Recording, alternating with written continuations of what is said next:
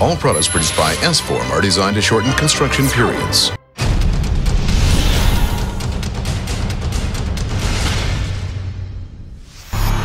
Okay, so here we have aluminium. We have um, one panel here and one panel there. And mainly it is connected with a round pin and a wedge pin.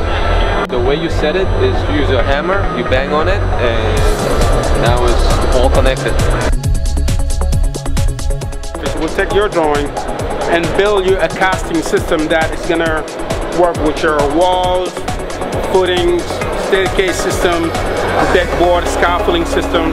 This is like a big puzzle. It's very to, very easy to uh, make. So you hook it so you kind of make straight straight line on the wall. Uh, these are the supports uh, made out of steel.